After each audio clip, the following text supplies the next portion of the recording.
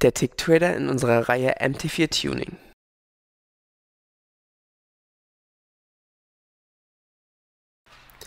Um den Tick-Trader zu nutzen, gehen Sie bitte auf unsere Website www.admiralmarkets.de und dort auf Handelsplattform MT4 Tuning Supreme.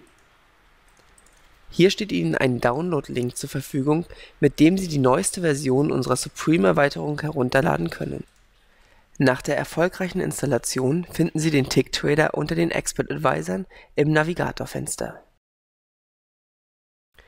Das Marktfenster im Tick-Trader, hier rot markiert, zeigt Ihnen die ersten 50 Produkte an, die auch im Markt zu sehen sind. Rechts daneben finden Sie im Dropdown-Menü fünf verschiedene Charttypen.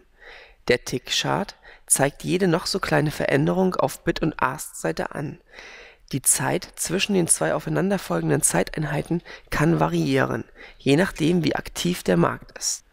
Der Tick-Speed-Chart zeigt Ihnen jeden Tick und zusätzlich noch in grauen Balken dargestellt, wie viel Zeit zwischen den einzelnen Ticks lag.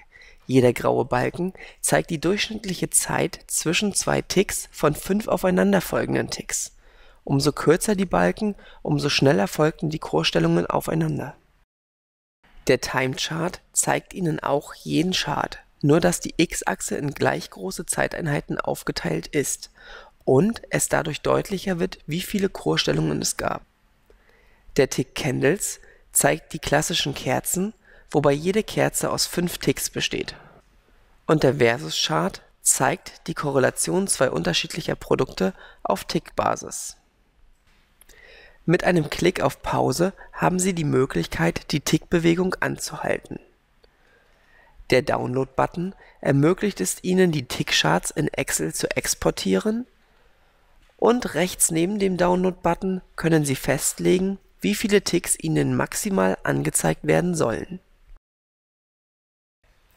Auch im Tick-Trader haben Sie die Möglichkeit zu traden um eine Order über die Maus zu platzieren, klicken Sie entweder in die obere rechte Ecke oder auf den Buy bzw. Sell-Kurs in der unteren rechten Ecke. Daraufhin öffnet sich eine kleine Ordermaske, in der Sie die Aktion, also Buy oder Sell, als auch das Volumen festlegen können. Da das Hatching hier nicht gestattet ist, führt das Öffnen einer neuen Position in die entgegengesetzte Richtung zu dem Schließen der vorherigen Position wenn Sie das Häkchen in der Ordermaske gesetzt haben, haben Sie die Möglichkeit auch über die Tastatur zu traden.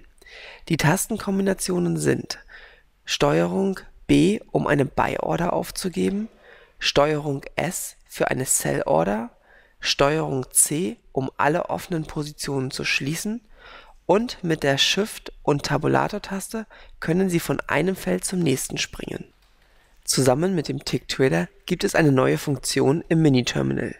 Diese ermöglicht es Ihnen, den Mini-Terminal immer im Vordergrund zu haben. Das heißt, Sie können beispielsweise den Tick-Trader und den Mini-Terminal gemeinsam verwenden.